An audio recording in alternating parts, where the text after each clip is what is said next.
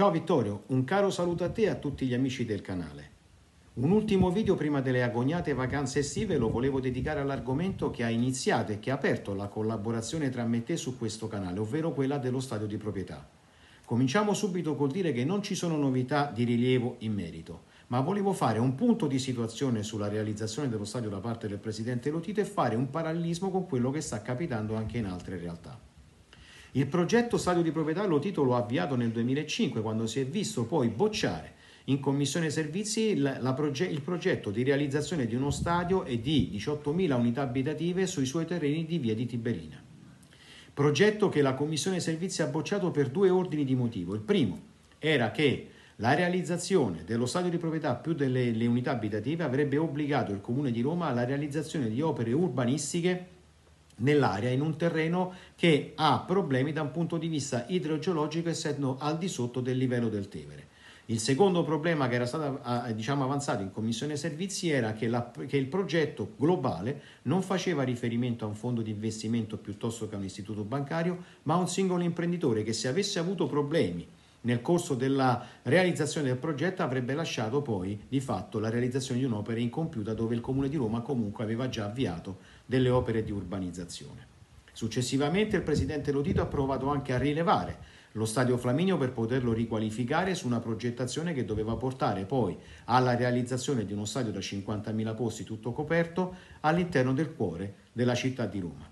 Progetto che sappiamo tutti ha cozzato contro quattro vincoli che gravano sulle infrastrutture, ed in particolare il vincolo culturale che lega lo stadio da un punto di vista ereditario alla famiglia Nervi e che impone la ristrutturazione eventualmente dell'opera ma mantenendo lo stato architettonico in cui versa e quindi impossibile secondo quelle che sono le richieste e le esigenze della SS Lazio.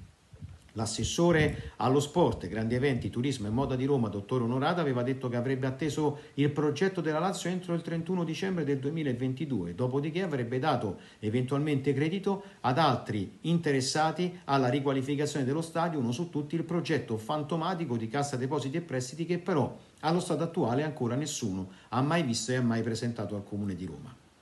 Ma non è soltanto la Lazio ad avere problemi, anche la Roma ha problemi. Ha dovuto abbandonare il progetto nel 2021, il progetto che aveva ideato la precedente proprietà, quella di Pallotta, che doveva far vedere sorgere lo stadio sui terreni di Tor di Valle, dove sorge adesso l'ippodromo di Tor di Valle. L'abbandono del progetto ha portato alla ribellione dei comitati di quartiere che avevano già ottenuto da parte del Comune di Roma la promessa per quanto riguarda il potenziamento dei trasporti e della viabilità della zona problema annoso dei quartieri che sorgono intorno all'ippodromo di Tor di Valle. E non solo, c'è stato anche un ricorso al TAR contro Pallotta presentato da quelle società che direttamente o indirettamente erano già state coinvolte nel progetto e che avevano avviato un processo di assunzione da parte di personale. Adesso la proprietà Fredkin sta provando a realizzare l'opera sui terreni del comune di Pietralata, ma anche lì sono insorti i comitati di quartiere, in quanto è risultato, da quello che noi sappiamo, un problema riguardante la proprietà, ovvero è stato presentato dai comitati di quartiere di Pietralata un ricorso al TAR perché da quello che si evince dalle carte sui terreni espropriati dal comune su Pietralata e destinati a pubblico utilizzo dovrebbe sorgere invece una struttura di proprietà del gruppo Friedkin che tale rimarrebbe pertanto ad uso privato. Per poter dirimere la questione, che quindi ha un fondamento di problema, il Comune di Roma il 7 settembre ha indetto una eh, un processo partecipativo, ovvero una commissione ha riunito un tavolo all'interno del quale sederanno tutti gli eventi causa, quindi il comune, la famiglia Fredkin, e sederà anche i comitati, sederanno anche i comitati di quartiere per poter cercare di eh, smussare quelli che sono gli angoli e poter vedere se ci sono le eh, condizioni per poter av- andare avanti nella realizzazione dell'opera prima che si esprima poi il TAR che molto probabilmente ci si attende un giudizio negativo e quindi a favore dei comitati di quartiere. Ma anche la Fiorentina ha problemi perché nonostante abbia vinto il ricorso al TAR e presentato contro le associazioni che anche in quel caso tutelano i diritti ereditari della famiglia Nervi in quanto il progetto di ristrutturazione dello stadio Artemio Franchi di Firenze ha un impatto sicuramente minore rispetto a quello che il presidente Lotito vorrebbe per lo stadio Flaminio, ebbene nonostante abbia vinto ricorso al TAR sono state indette delle gare per assegnare gli appalti della ristrutturazione dello stadio Artemio Franchi che dovrebbe diventare lo stadio di proprietà della Fiorentina, ma fino adesso le gare sono andate tutte quante deserte.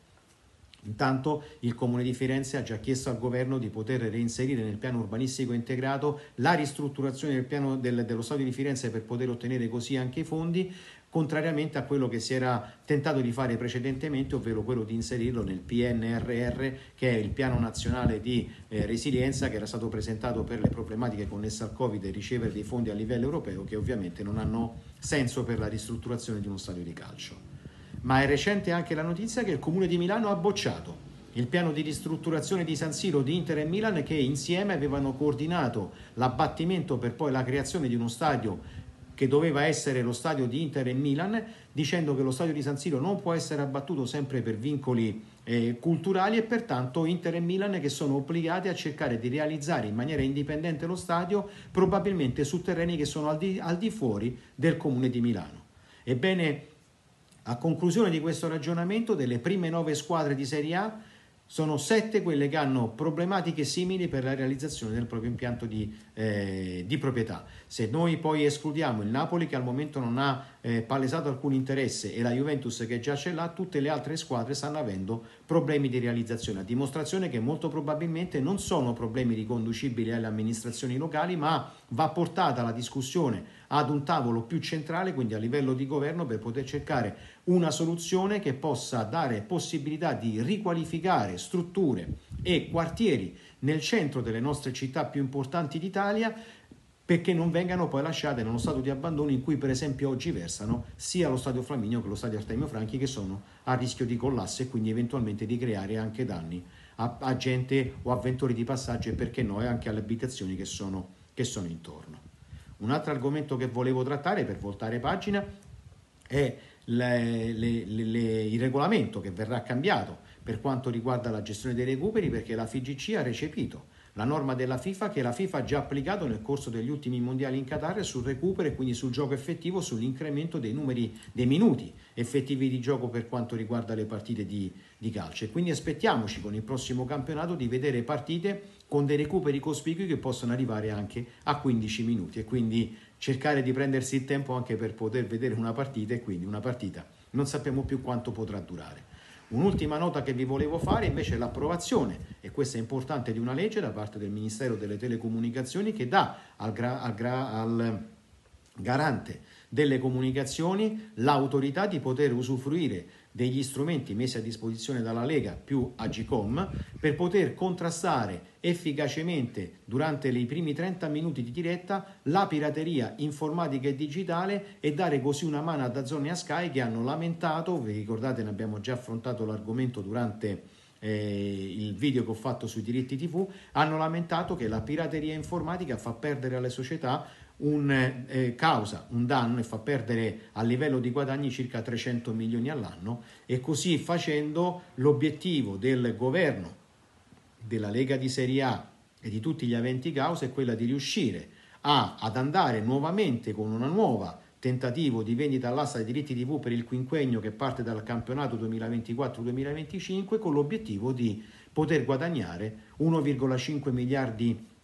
di euro per la trasmissione delle partite in Italia su base annuale. Obiettivo che per il momento, l'abbiamo già detto, è fallito in quanto una delle problematiche che Dazon ha evidenziato e ha sollevato è proprio l'inefficace eh, attività contro la pirateria che il governo italiano eh, è riuscito a mettere in atto che purtroppo causa un danno all'azienda e che quindi non può permettersi di alzare l'offerta. Ecco, io ho concluso qui, vi eh, ringrazio sempre per tutti i commenti che fate di sostegno, supporto e di affetto a me per quanto riguarda eh, la sezione commenti, dove volete eventualmente fare domande, avete visto io rispondo sempre a tutti quanti. Vi ricordo sempre di iscrivervi al canale, di suggerirlo ai vostri amici se vi piacciono gli argomenti che noi proponiamo e di mettere un like ad ogni video perché a voi non costa nulla, mentre a Vittorio permette di crescere di diventare uno dei canali di informazione di Lazio e non solo per quanto riguarda il mondo del calcio. E a voi vi aspetto a tutti dopo le vacanze, vi auguro un buon periodo di riposo, vi abbraccio a tutti e vi aspetto poi al prossimo approfondimento. Un ciao da Luca e sempre Forza Lazio. Ciao!